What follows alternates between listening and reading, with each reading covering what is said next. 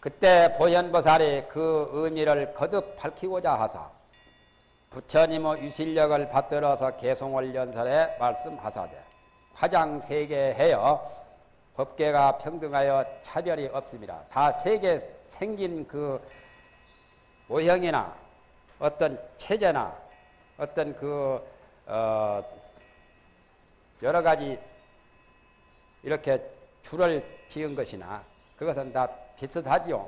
그래서 평등하여 차별이 없습니다. 장엄하고 극히 청정하여 정토라는 뜻이죠. 화장세계는 정토죠. 허공에 안주하니 허공에 둥 떠가지고 있죠. 허공 속에 이 무수한 세계가 있다 이거죠. 이 세계 가운데 찰종을 찰종이란 말은 세계 종이죠. 세계 종도 생각할 수도 없고 말할 수도 없습니다. 생각하거나 말하기가 어려웁니다. 낱낱이 모두 다 자제하여 걸짐이 없이 다 우회한 것을 찾으라고 합니다. 각각 참나함이 없도다. 세계가 다 질서가 정연하고 다 자기 세계의 그 체제를 다 유지하고 혼잡이 없다 말이죠. 인불잡난 객별성이죠. 화장 세계 해에 찰종이 잘 안포가 되었으니 알립하고 분포한 것을 안포라고 합니다. 세계종이 잘 안포가 되었으니 밭에다가 곡석 심어 놓으면은 요즘에는 그 곡석을 나락을 심을 때 이런 형으로 이렇게 이렇게 줄모를 심지 이렇게 이런 형으로 이렇게 질서가 정연하게 세 개가 딱딱 방으로 이렇게 된 것은 지금 줄모 같은 나락을 심을 때고 먼저 이렇게 말했듯이 이런 식으로 한없이 세계종이 이렇게 이런 식으로 세계 망으로 되어 있죠. 거미줄 망같이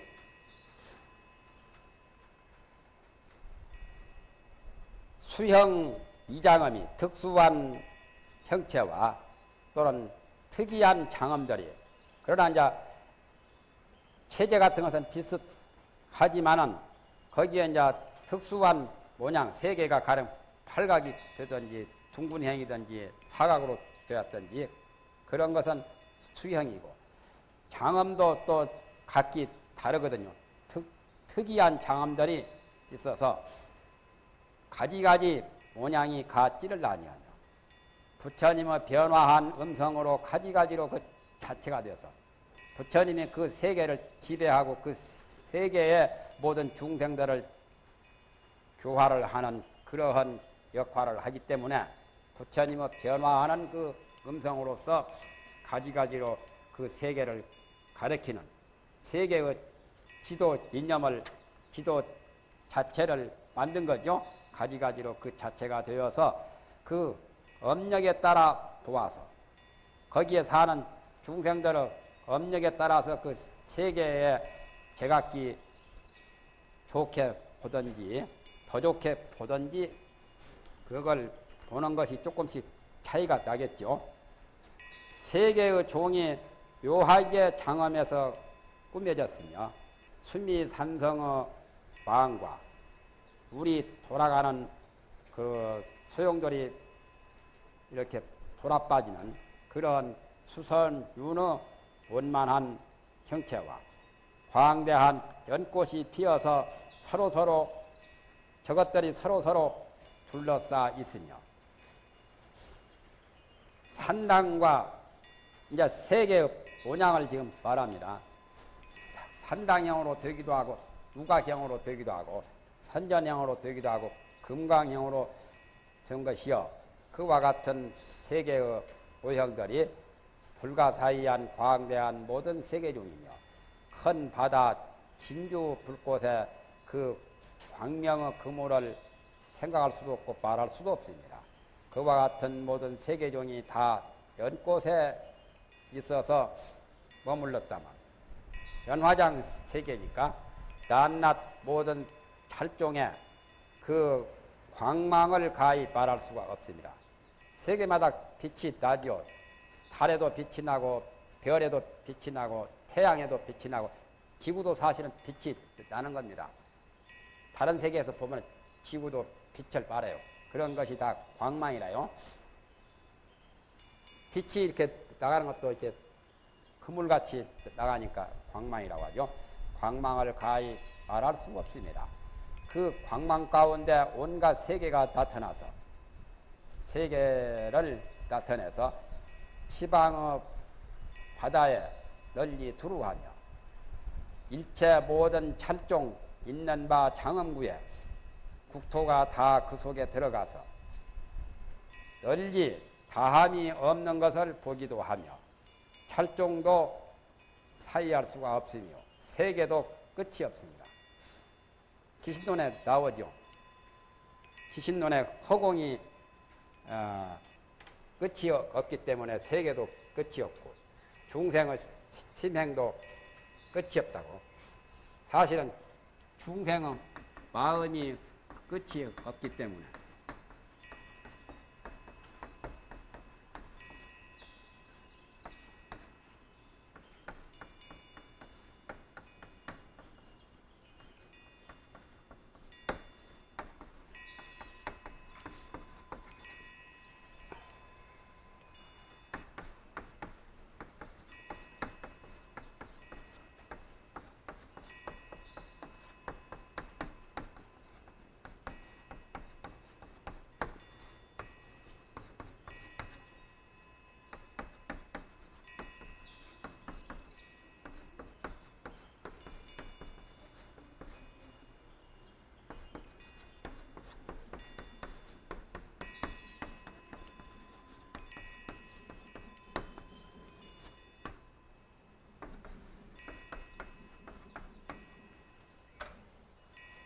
중생은 업도 무변하죠.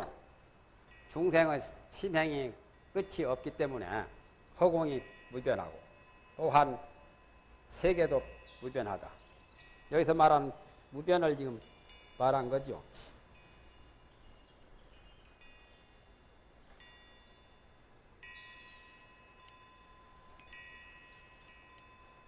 그런데 이제 가지가지 그 묘한 엄호가 미묘하게 장엄한 좋은 그런 세계들이 다 대선의 힘을 말미암는다. 여기서 대선이란 말은 부처님을 대선이라고 그럽니다. 대선. 부처님을 대선이라 부처님을 여러 가지로 표현합니다. 부처님을. 대선이라고도 표현하고 금선이라도 표현하고 신선 중에 신선이라고 표현하고 또는 하늘 중에 하늘이라고도 표현하고 부처님을 대선이라고 가르칩니다. 신선 중에서는 가장 위대한 신선이죠. 일체 찰종 가운데 세계가 부사이하여 세계를 다 말할 수도 없고 생각할 수도 없죠. 그런데 그 세계가 동시에 다 똑같이 된 것이 아니라요. 어떤 세계는 무너지기도 하고 어떤 세계는 새로 성립되기도 하고 부산 시내도 집이 새로 짓는 데도 있고 집이 또 파괴가 되는 데도 있고 지어진 것도 있고 그렇죠.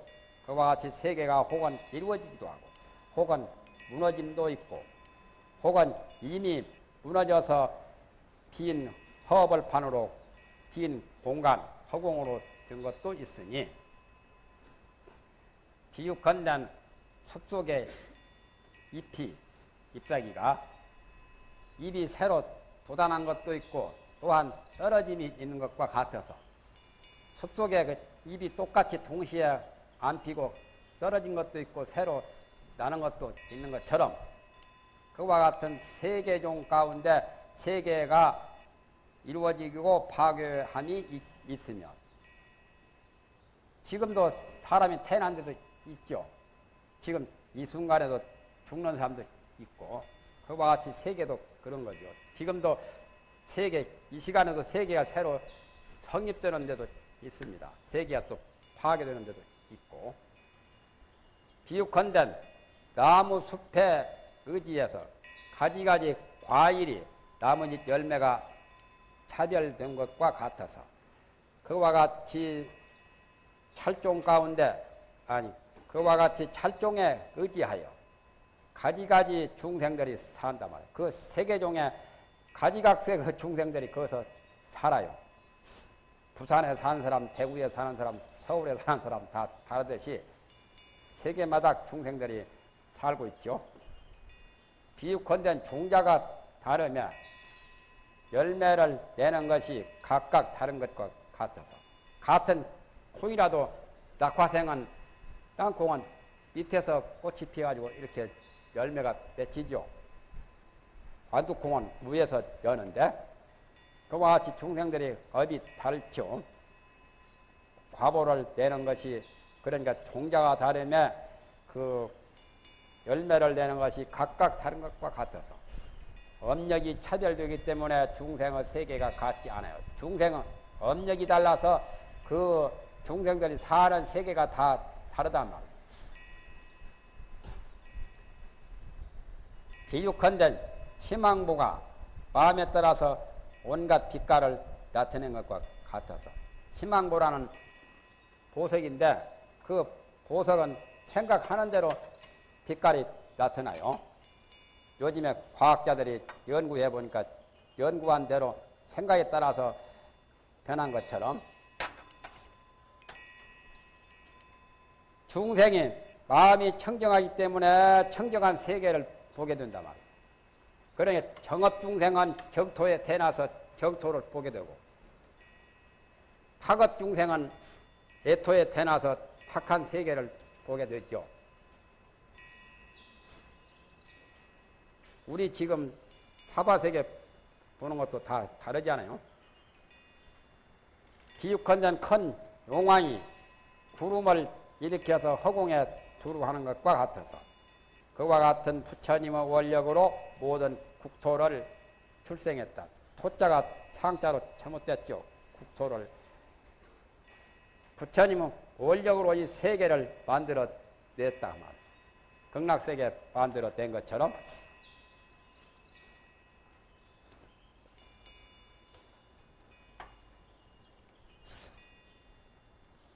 어떤 사람은 평생에 땅 한 평도 없는 사람도 있는데 얼마나 박복했으면 자기 땅 한 평도 없이 살겠어요. 원력이 아주 지극히 박약해서 그렇죠. 부처님은 원력은 우주 세계를 다 창조해 내는데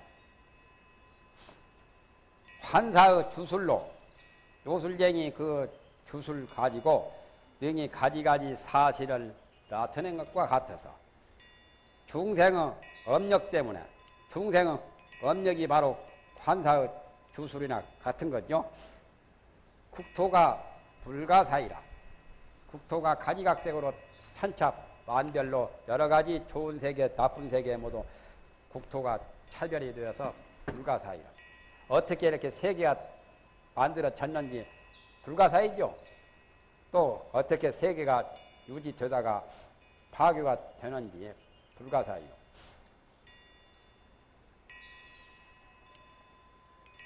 비육컨대 중교상이 그림 괴짜입니다. 모든 그림 그 화상은 화사지 소작인달 하야 화사는 그림 그리는 사람 그림자가 좀 잘 안 보이죠? 그림 그리는 사람이 온갖 그림을 만들어낸 것과 같아서 이와 같은 일체 세계가 다 마음의 그림장이로 만든 바라. 여기에 보면 일체 유심도가 나오죠. 마음의 그림 그리는 사람이 세계를 만들어 말이에요. 그러니까 유심조죠. 유심이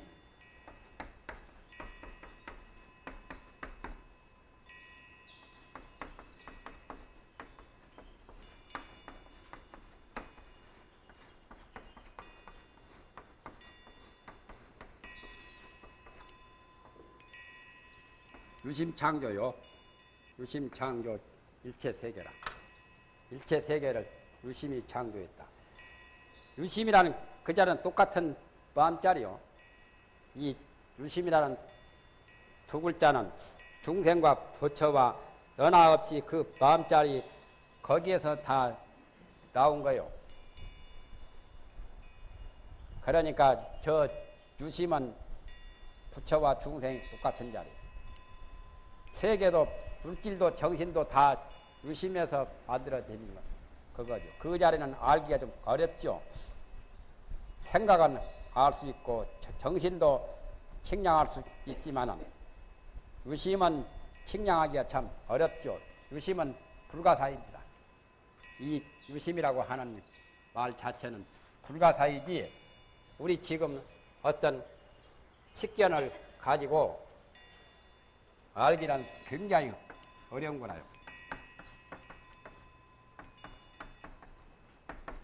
이 자리는 불가사의요.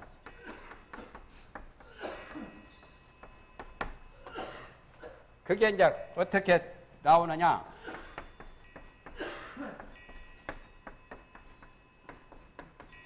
영암경 같은 거 본다면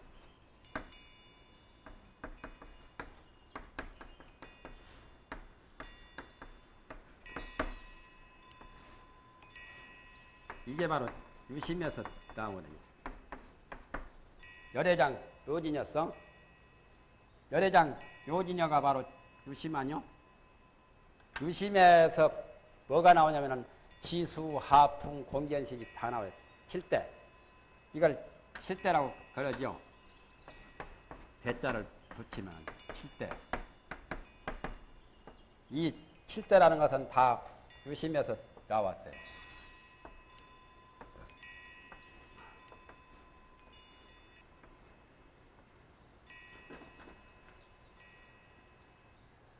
앞에 것이 좀 거칠었죠.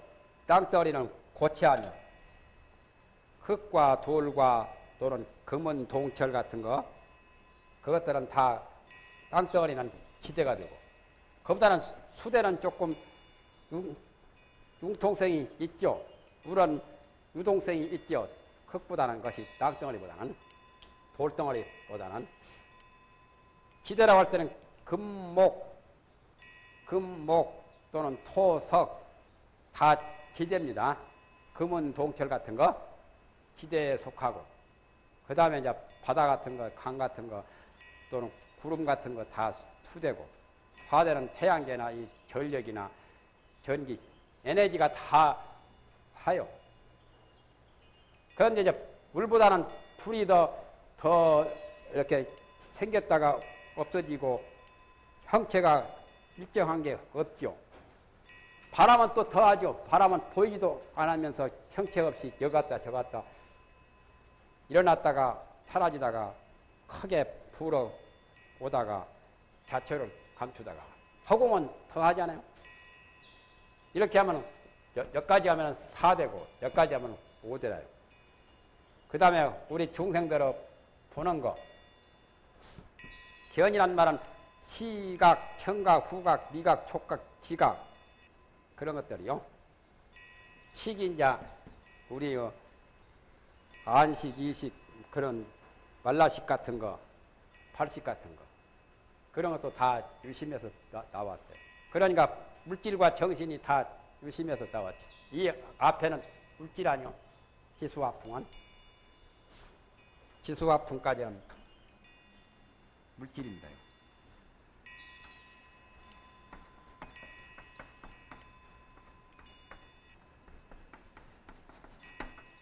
여기는 이 두 가지는 정신계고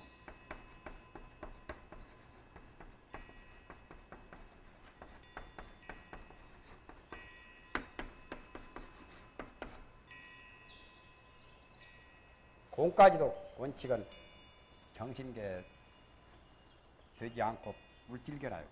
공까지. 허공도 물질이라요.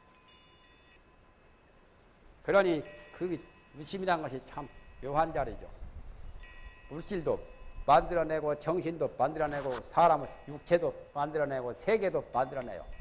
물도 거기서 나왔고 불도 거기서 나왔어요. 태극에서 수화 금목토 오행이 나왔죠. 음양도 나, 왔죠 태극에서 어, 음과 양이 나오고 또는 수화 금목토 오행 나오고 팔교 나오고 그러면 태극은 어디서 나왔느냐? 태극은 유심에서 또 나온 거예요. 태극도 유심에서 나왔어요. 태극에서 음양 오행이 나왔지만은 유심에서 태극, 음양, 오행이 다 나왔어요. 그러니까 유심 자리가 참 묘한 자리죠. 우리는 결국에 그 유심의 일부분을 가지고 내놓으라 하고 이런 육체 가지고 또 자기의 오원 수상행시 색수상행시 오원 가지고 내놓으라 하고 자기의 조그마한 그 하나의 이런 테두리 하나의 이런 한계를 형성해 가지고 내라고 하는 이렇게 칸내기를 만들었어요. 벽을 만들어 놨어요. 원래 장벽이 없는 것을 장벽을 만든 거예요. 허벌판에 어, 이렇게 선을 그어놓고 여기는 내 땅이다. 울타리 딱 켜놓고 자기 집 지어놓고 내 집이고 내 울타리다 하듯이 그, 그렇게 된 것이 모든 중생들이 각자 오음, 오음을 형성해가지고 내놓으라 하고 그래서 아집을 일으키고 법집을 일으키고 그것도 참 묘하죠. 그게 무너져 버려야 되는데 그게 그냥 무너져서는 안 되죠. 그냥 무너지면은 남북 통일이 좋기야 좋지만은 그냥 통일되면은 감당도 못해. 뒷감당 못합니다. 우리 중생도 이 오음이 그냥 무너지면은 어찌할 바를 몰라요. 그래서 허공신이 되면 허공의 귀신 되면 돌에 몸 없는 것을 싫어하거든. 우리는 지금 몸이 있으니까 괴로워서 몸 때문에 춥고 덥고 배고프고 고통스러운데 허공신은 몸이 없으니까 참 좋겠는데 말이죠. 몸 없는 또 싫어하거든. 갑자기 이렇게 없어지면 안 되는 거예요. 돌을 닦아가지고 완전히 본래 없는 것을 알아가지고 그걸 해소해서 없애버려야 되지. 그러니까 애착을 떠난 다음에 그 물건이 없어져야 어, 크게 상처를 받지 않지. 애착은 그대로 있는데 그 물건만 없어지면 말이요. 도난당했다고 실물했다고 크게 그냥 어, 돈 잃고 어, 마음병까지 생겨가지고 크게 아주 타격이 심하잖아요. 그러니까 그것을 갑자기 없앨 수는 없고 치각을 해야 돼요. 치각. 치각을 통해서 그걸 없애야 됩니다. 아집, 법집 같은 것을 갑자기 없애기가 어려우니 치각을 통해서 아집, 법집을 없앤단 말이죠. 아집, 법집을 없애면 우리 중생의 이 형태를 완전히 없애버리면 말소시키는 거예요. 괜히 그 가등기 해놓은 거 가등기 말소 가듯이 그 저 남북한에 그걸 것이 저 철망 친 것을 없애버려거든. 없애듯이 없애야 된단 말이야. 그래야 지각을 통해서 없어져야 아지법집이 없어져야 본래 유심의 한원이 돼요. 유심자리. 그러게 되면은 지수화풍 공견식이 그대로가 다 유심이고 유심이 바로 지수화풍 공견식이고 산을 봐도 도요 물을 봐도 도고 바람을 봐도 도고 불을 봐도 도고 허공도 다 도고 도 아닌 것이 없죠. 그렇기 때문에 무정설법을 들을 수가 있는 거죠. 무정설법이 무정설법을 깨달을 수 있어요. 무정물도 다 설법이에요. 이월기에서 보면은 이것들 다 무정 아니요? 지수, 하풍, 공까지는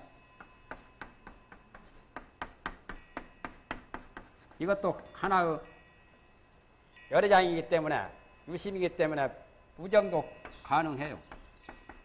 우정도 설법을 하는 거예요. 견식은